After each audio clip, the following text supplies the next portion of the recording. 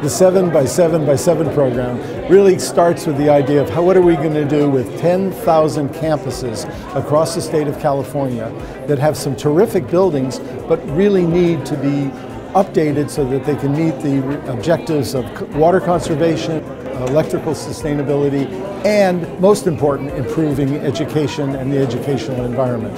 And this started about a year ago, and this is really the culmination of that event. So our students are spending the springtime um, learning and researching uh, clean energy principles, looking at things like school design, how to cool your school more efficiently. My wish is one day that um, our school would be covered in solar panels, and then we and then the solar panels would produce energy for our school. So I think you know with our students, they recognize that we there is this need to go to renewables to create the sustainable future.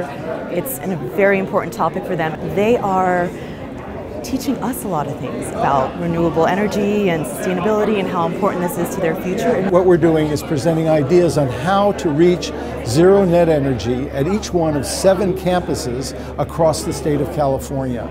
And we've got seven terrific architects working on these projects. We've built a lot of schools in Southern Cal or in California in general. So 95% of the schools are all existing facilities. How do you deal with that element and make them energy and, and water efficient. If districts look ahead and do things now that will enable them to do better things later, it can make a huge difference in energy and water use.